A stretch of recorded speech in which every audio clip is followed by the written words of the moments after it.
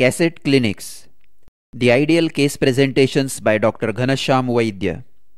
You are listening to the case presentations in medicine, alimentary system, a case of hepatomegaly. A 48 year old Hindu male patient Basappa, a farmer staying at Gokak, comes with complaints of loss of appetite and weakness since one month and a lump in right hypochondrium noted 10 days back. The patient was apparently alright one month back when he lost his appetite and had a feeling of weakness, no history of vomiting or regurgitation. There is history of loss of weight of 5 kilos in last one month. What are the causes of rapid loss of weight? Tuberculosis, malignancies, acquired immune deficiency syndrome, insulin dependent diabetes mellitus, thyrotoxicosis, and anorexia nervosa.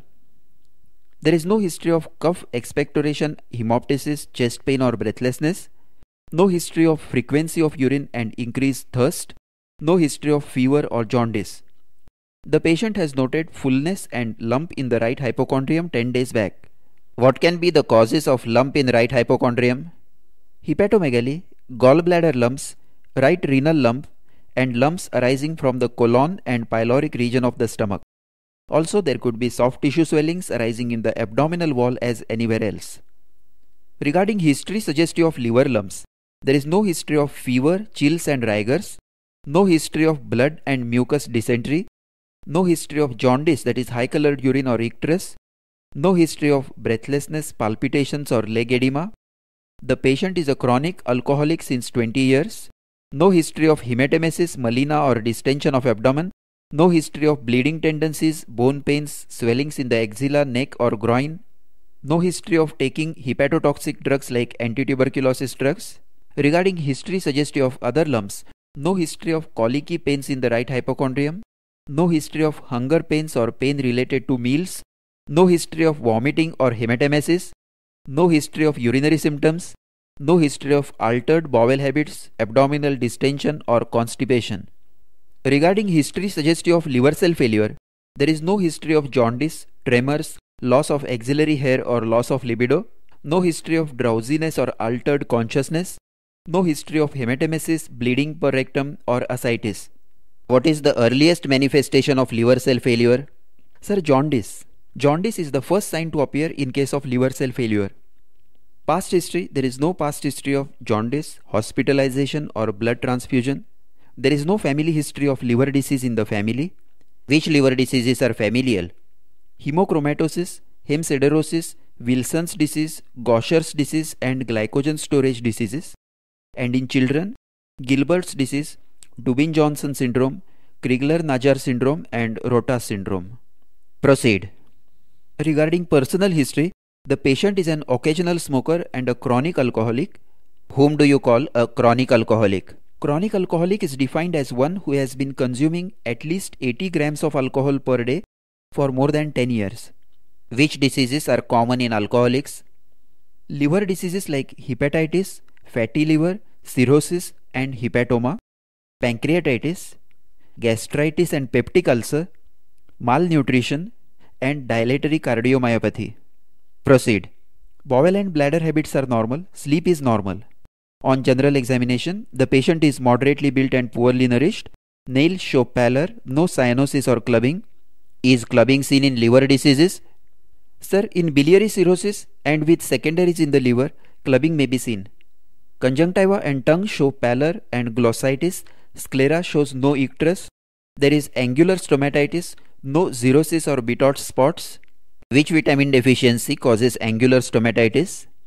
Vitamins B2 and B6 that is riboflavin and pyridoxine and glossitis vitamin B2, B6 and B12. Is it because of cirrhosis? No sir, it is because of nutritional deficiency. Cirrhosis or chronic liver failure will cause deficiency of fat soluble vitamins that is vitamin A and D. Why? Due to deficiency of the carrier proteins which are essential for the transport of these fat soluble vitamins. Proceed. There is no edema of feet, JVP is not raised, there is no significant lymphadenopathy. Where do you see hepatomegaly with lymphadenopathy? Firstly, lymphomas and leukemias. Secondly, infections like miliary tuberculosis and infectious mononucleosis. Thirdly, storage disorders. and infiltrative disorders like amyloidosis and sarcoidosis. Proceed. Vital signs are normal. Looking for signs of liver cell failure. There is no jaundice, palmar erythema, spider nevi or gynecomastia. No loss of axillary hair, no loss of testicular sensations. There is no Dupuytren's contracture or parotid swelling, no flapping tremors or altered consciousness. On examination of the abdomen, on inspection, there is no distension of abdomen or fullness of the flanks and renal angles. There is slight fullness in the right hypochondrium which moves with respiration. Abdominal movements are normal, no abnormal pulsations or peristalsis. Umbilicus is normal, no dilated veins, scars or sinuses. Hernial orifices and spine are normal. On palpation, the abdomen is soft, there is no tenderness, guarding or rigidity, no intercostal tenderness. How does a normal abdomen feel? It is soft and elastic. If there is guarding or rigidity, then it becomes firm due to the muscle spasm. How do you look for guarding?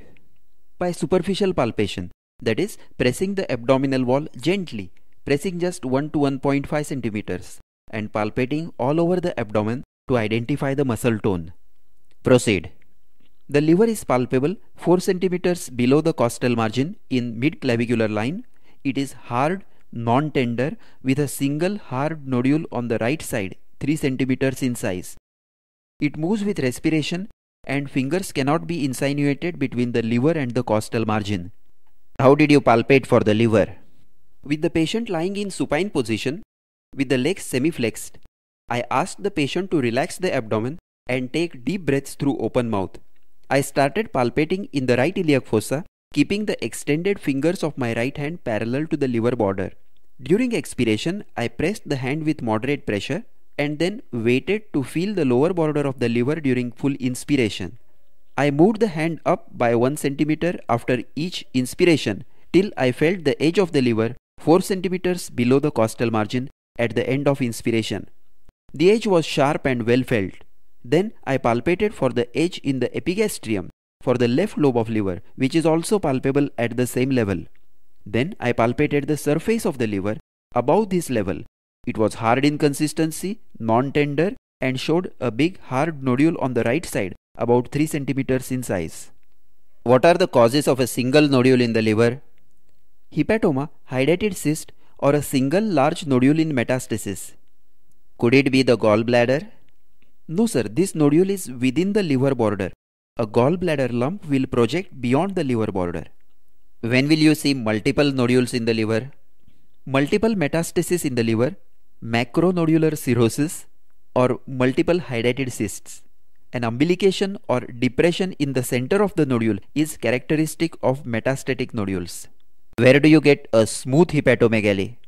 Congestive cardiac failure, hepatitis, fatty liver, infiltrative disorders like sarcoidosis and amyloidosis, storage disorders, and leukemias and lymphomas. What does the consistency of the liver tell? A hard hepatomegaly is typical of malignancy, either primary hepatoma or secondaries. A firm liver is seen in cirrhosis, congestive cardiac failure, infiltrative and storage disorders. A soft liver is typical of infective hepatitis, fatty infiltration, and acute congestive cardiac failure. If you see a very huge hepatomegaly, what will you think of? Storage disorders. In which conditions do you get a pulsatile liver? In tricuspid regurgitation. What are the other causes of pulsations in the epigastrium? Right ventricular hypertrophy, pulsatile liver, and aneurysm of abdominal aorta. How do you differentiate them clinically? When the hand is placed just below the xiphisternum, the thrust of the right ventricular hypertrophy will be felt downwards and to the right. A pulsatile liver will be felt under the right costal margin also. An aneurysm of abdominal aorta will show expansile pulsations. Of course, we must remember that even normal aortic pulsations may be seen and felt in the epigastrium in thin individuals. Proceed. The spleen is not palpable. There is no other lump palpable in the abdomen. On percussion, Dullness over the lump is continuous with the liver dullness. Upper border of the liver is in the sixth intercostal space in the mid-clavicular line. Tidal percussion shows normal movements of the diaphragm. Liver span is 14 centimeters. Is the liver span normal? No sir, it is increased. Normal liver span is 8 to 10 centimeters. What is liver span?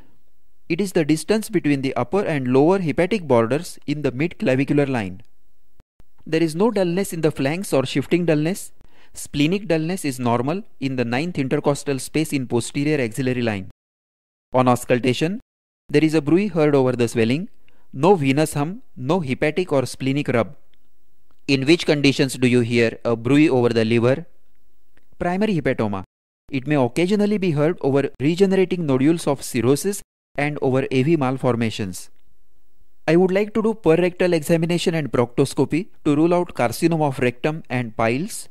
Coming to other systemic examination, respiratory system is normal, no abnormal breath sounds or dullness. Cardiovascular system is normal, heart sounds are normal, central nervous system is normal. My diagnosis is hepatomegaly with a nodule, probably primary or secondary malignancy of the liver with no signs of liver cell failure. Hepatomegaly with a nodule, probably primary or secondary malignancy of the liver with no signs of liver cell failure. Why do you think it is a malignancy of the liver? Middle-aged person, a chronic alcoholic, is presenting with marked anorexia and rapid loss of weight. There is a hepatomegaly with a hard nodule with a bruit heard over the lump. So the most likely cause is a primary hepatoma. It could also be a secondary malignancy with a single large nodule. Which secondaries are commonly deposited in the liver? Bloodborne metastasis, particularly from the GI tract, kidneys, bones, lungs, thyroid, breast, and malignant melanoma. Why is this not a hydatid cyst? Anorexia and weight loss are not seen with hydatid cyst. The lump has grown rapidly, whereas hydatid cyst grows slowly over several years. Then on palpation, the swelling is hard, not cystic, and there is no hydatid thrill on percussion. What is hydatid thrill? When hydatid cyst of a liver is percussed, the pleximeter finger feels a peculiar quivering vibration due to movement of the daughter cysts within the cyst, termed as hydatid thrill. Can this be an amoebic liver abscess? No sir, there is no history of passing blood and mucus in the stools. There is no history of fever with chills.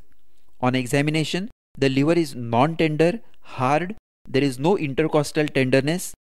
In amoebic hepatitis, the liver is always very tender and intercostal tenderness is present. In which other conditions is the liver tender?